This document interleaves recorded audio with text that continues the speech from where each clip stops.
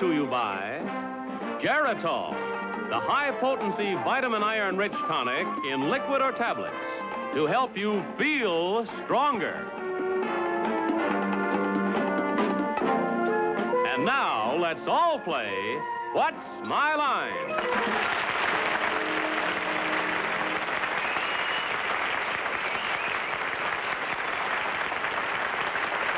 And now, live from New York, let's meet our What's My Line panel. First, the talented lady who is delighting audiences in the current Broadway play Tchin-Tchin, Miss Arlene Francis.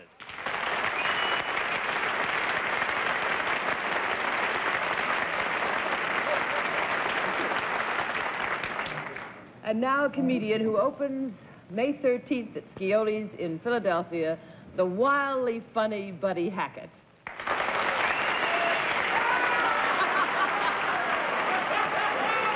Not you. You. You're on next week. Geez, everybody acting not Joey Bishop.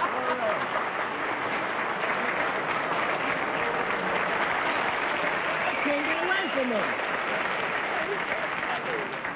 I'm so now the nationally syndicated columnist of the Joey Bishop show uh, of, of the New York Journal American, Mr. Dorothy Kilgallen.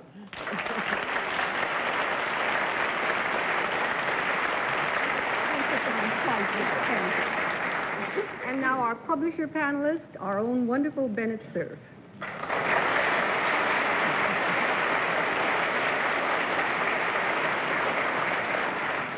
I must tell you what our panel moderator just said. He said he thought he might have a little trouble understanding Buddy Hackett tonight because he doesn't always hear people who speak above a whisker. Never said that. So I think he deserves everything he gets. Here he is, our panel moderator, John Charles Daly.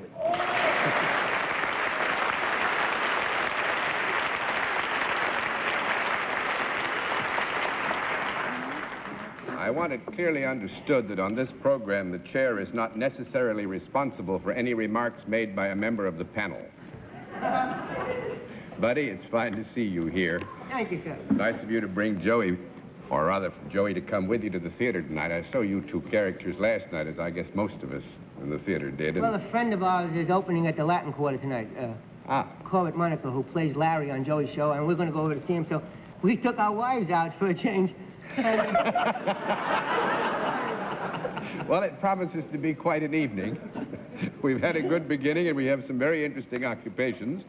We'll also have a famous mystery guest before my friends on the panel a little bit later in the program, and we'll meet our first challenger after this word. Our first contestant, will you enter and sign in, please?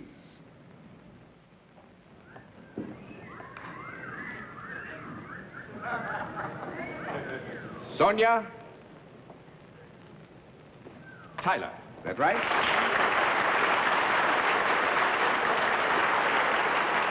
it, uh, is Miss or Mrs. Tyler? Mrs. Mrs. Tyler, where are you from? Forestville, Maryland. Fordsville? Forestville. Forestville, Maryland. Is that, where is that? In close to the Washington area or up the other About 10 miles outside of Washington. Ten miles outside of Washington. Nice to have you with us. May I present our panel? Now, would you join me over here? You know how we keep score on What's My Line? Yes. All right, then we'll let the audience in the theater and the audience at home know exactly what your line is.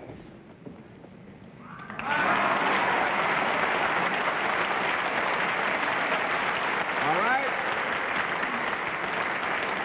Panel, we're, we'll tell you that Mrs. Tyler is salaried and deals in a service. And we'll begin the general questioning with uh, Bennett, sir. Mrs. Tyler, is your service in any way connected with some sporting activity? No. Nope. One down and nine to go, Miss Francis. Did the audience enjoy your, uh, whatever it is that you do because uh, it is an unusual thing for a girl like you to be doing? Yes. Uh, is it a, do you work for a, a non-profit making organization? Yes. Uh, do you wear any sort of garment other than a dress in your job?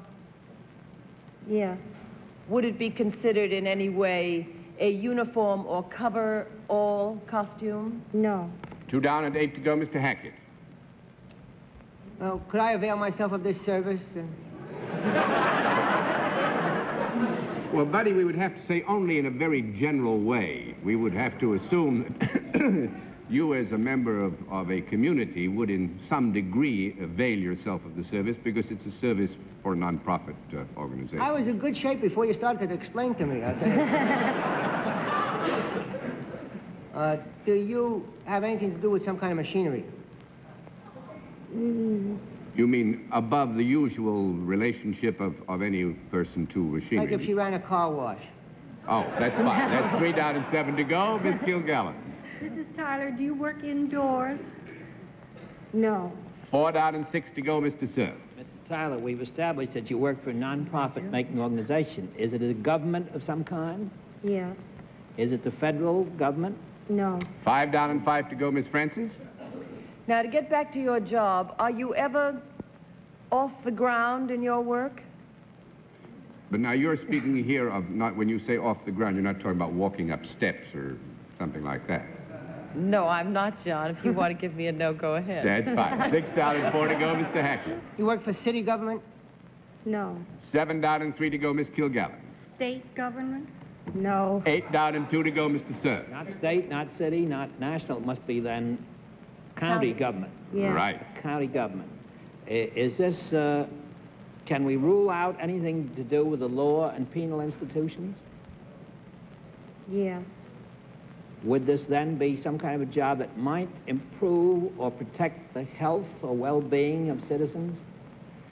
It could have the application, in certain instances, certainly of protecting the, the health and well-being of, of the citizenry. Mrs. Tyler, are there any animals connected with the work that you do? Yes. Uh, are they four-legged animals? Yes. Dogs? yes. Don't tell me you're a dog catcher. Yes.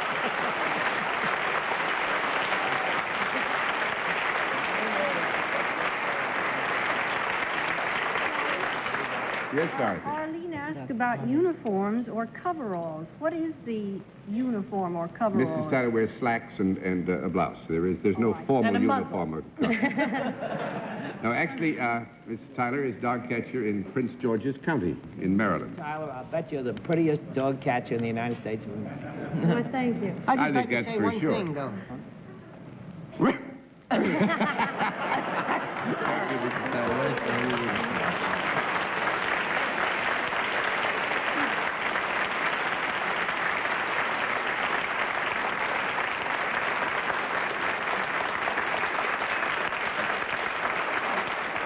meet our second contestant. Will you enter and sign in, please?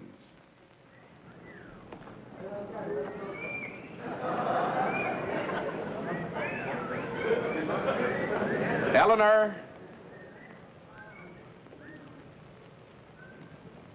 Hansbury, is that right?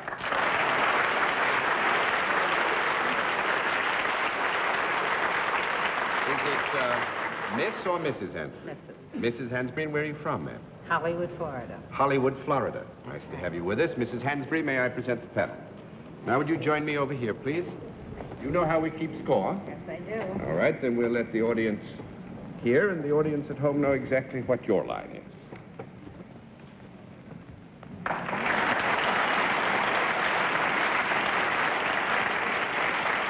All right. Panel, Mrs. Hansbury is self-employed, deals in a product. And we'll begin the general questioning with uh, Buddy Hackett. Uh, this product you're dealing, is it edible? Yes. Uh, is it of a citrus variety? Pardon? Is it a citrus fruit? No. No, one down and nine to go, Miss Kilgallen. Uh, is it something that would be stocked by the ordinary grocery store or supermarket? Yes. Uh, could I hold it in my hand? Yes. Uh, would it be served at dinner, normally? Yes. Uh, would it be served as something other than the main course? Yes.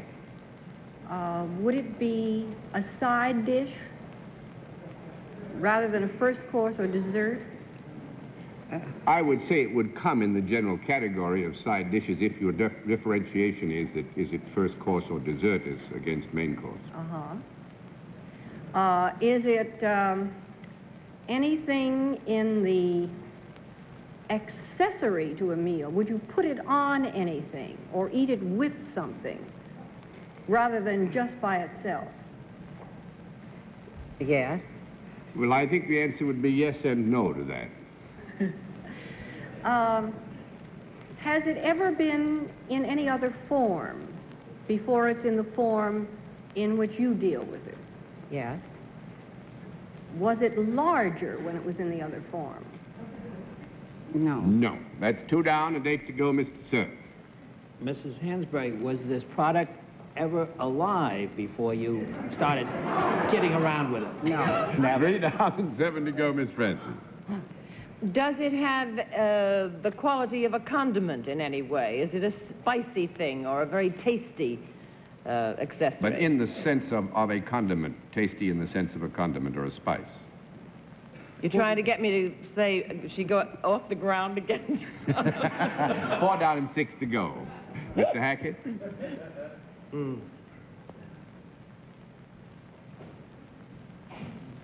Is this a, a pickled sort of thing? A pickle sort of thing. Five down that what and a five to go. Uh, is this packaged in glass usually? No. Six down and four to go, Mr. Cerf. Uh, can this product be eaten without being cooked? Yes. Is it very often eaten without being cooked? Yes, I would say here, Bennett, again, we have to go back to the basic product as Mrs. Hansbury knows it. When Mrs. Hansbury is concerned with the product, it does not need to be cooked to be eaten. Might this product be raised in or near Hollywood, Dade County in Florida? No. It is not. Seven down and three to go, Miss Francis.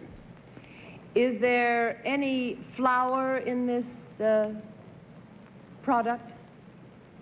Yes. Is it any member at all of the bread family? Yes. Is it uh, more unusual than just a loaf of bread? Um, I mean, for by that, let me, don't, John, don't turn the card. It makes me so nervous. I mean, is it something like a bagel or a pretzel? or- you see, you should have let me turn the cards. I would have turned all the cards over because really you did get it, Arlene. It is a loaf of bread. It's Oh. diet bread. It's of a special character. Oh. But I think you clearly got it. Hand gluten bread. Actually, uh, Mrs. Hansbury is the president of the Hollywood Diet Bread Company. Now, I find this bread fascinating. I'm going to ask Mrs. Hansbury to tell you all what is in it, what, it, what, what it's made out of. Would you tell us? Well, it has eight vegetables in it, and it has 49 calories, and anybody that's on a diet naturally are watching their calories, so it is low in calories. Is it 49 calories to a bread or to a slice? 46 calories. 46 calories to a whole 46 No, to the slice. The slice, but it's As got carrots and, and cauliflower and Kelp. cabbage. I hope it tastes Sea better kelp. than it sounds. It's delicious. It's delicious. Carrots in it. Oh, yeah. Well, it's all made into the flour, though. You just put some salad dressing on it. I knew that Buddy would have something to top us with. Thank you very much, Mrs. And thank Hansbury. It's you, been nice to Mr. have you with us and watch My Life.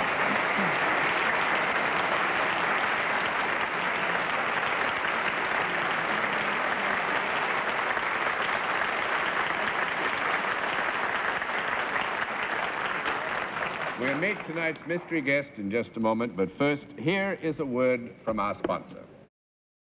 And now the special feature of our program, the appearance of our mystery challenger, for which the panel is blindfolded. Blindfolds in place, panel? yes, sir. Uh-huh. Good. Will you enter mystery challenger and sign in, please?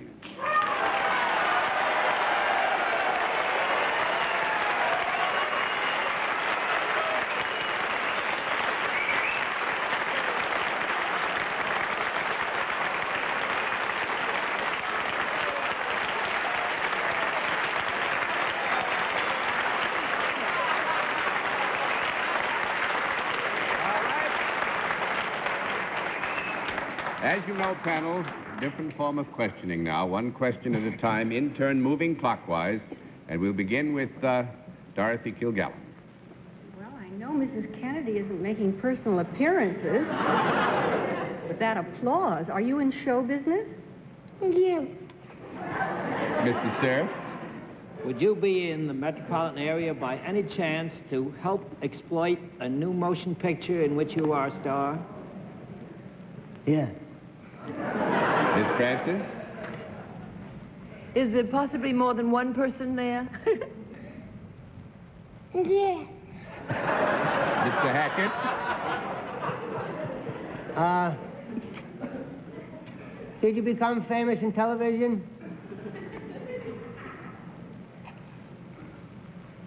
Yes. Miss Kilgallen? Is one of you red-haired and the other ski-nosed? No. It is Bob Hope and... Yeah, and, yeah. and Lucy I think you carried it, don't you?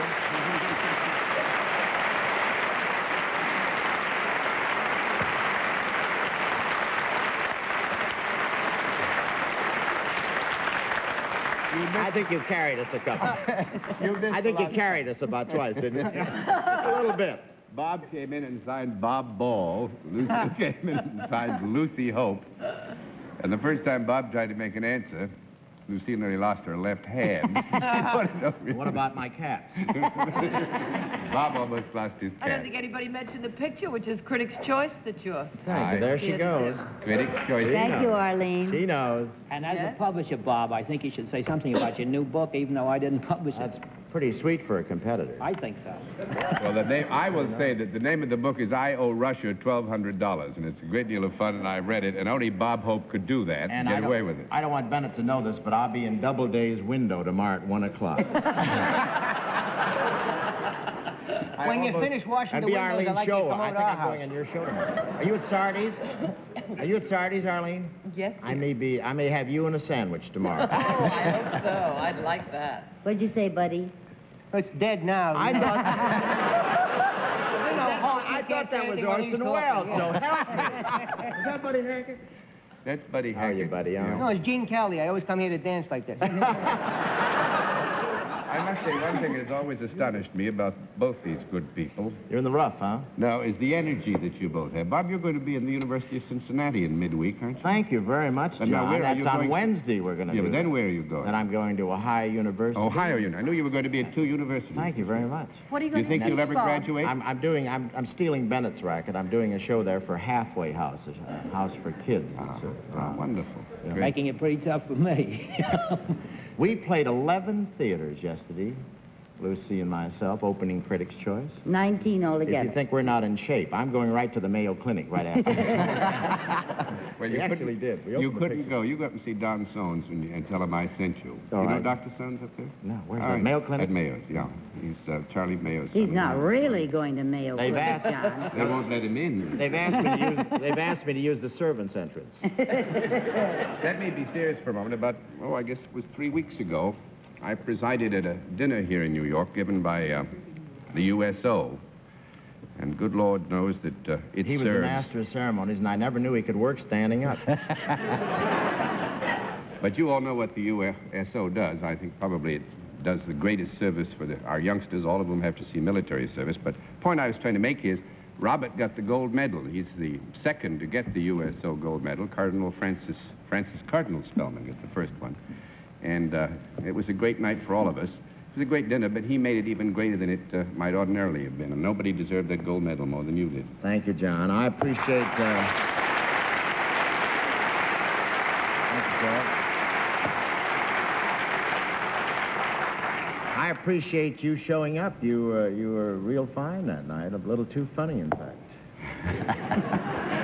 Now, what actually happened was I stood up and said, with Robert there, I wasn't going to dare to tell a joke, and I didn't even try. That's the truth. You were pretty good. I read the stock market report. You were pretty good. Is. Lucy going to school with you? No, I'm, gonna I'm going back and do my show with Vivian. Oh, ah, yes, Oh, that's good. Yes. Yeah, we lose her. Well, I have one final word to two people who have been to 19 theaters in the last two days That's with their right. picture critics' choice. Thank you for giving us a You know the way we Sunday feel? night. The way I feel about it, John, I, I helped kill vaudeville, and I'd like to restore it, and we tried. Good to see you both.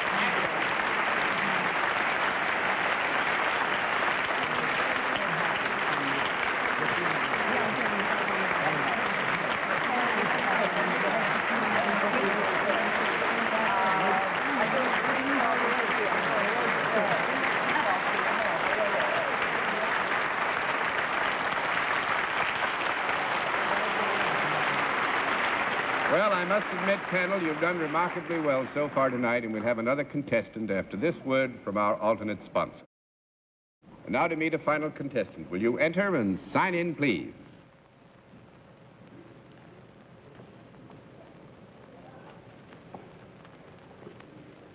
Wim Olson. William Olson. Right there.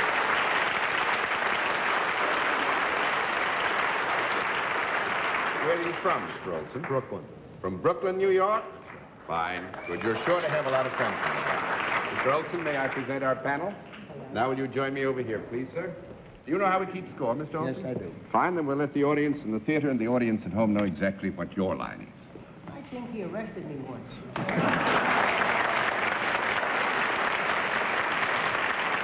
All right. Panel, we can tell you that Mr. Olson is salaried and deals in a service. And let's begin the general questioning with uh, Arlene Francis. Mr. Olson, is your work very difficult? Is it a hard job? At times. Do, uh, do you go to people rather than people coming to you?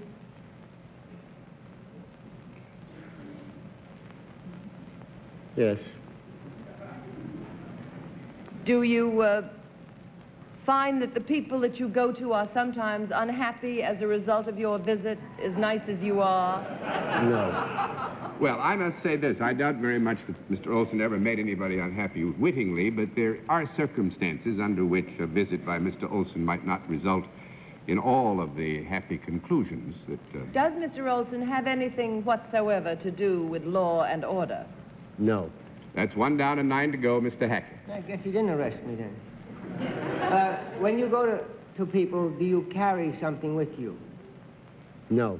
Two down and eight to go, Miss Kilgallen. I said Uh, yes. what's Mr. that? Olson, may I assume that by law and order you also exclude private detectives or process servers?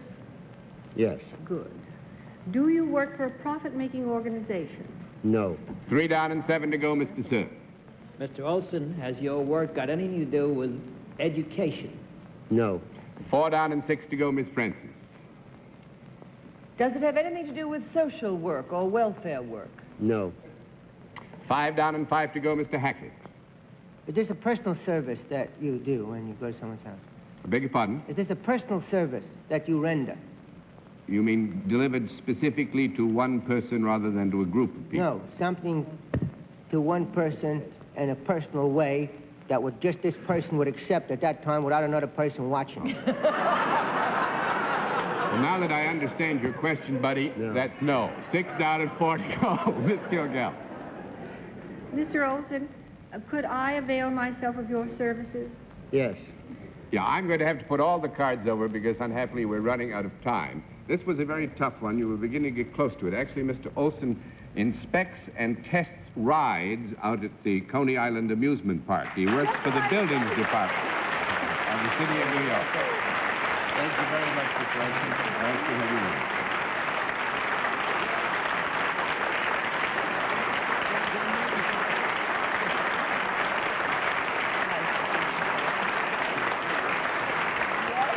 Nice to have you with us tonight, Buddy Hackett, and good night, Miss Thank you. Arlene Francis. Thank you, John, and good night, dear buddy. Have a very successful engagement in Philadelphia. Thank you very much. and Good night, Good night, buddy. Don't forget to come back next week when Joey is here. Yeah, I'll be the mystery guest. Good night, Bennett. John, what do you think of our Mets? Oh, listen, I think the fever that has caught the city for the Mets is wonderful. I'm, I uh, guess that's in our nature. And if wishing alone will make them a great ball team, they're going to be a great ball team. They'll need more than wishing. and thanks to you, ladies and gentlemen, for being with us on What's My Line. What's My Line is a CBS television network production in association with Mark Goodson and Bill Todman. Johnny Olson. speaking.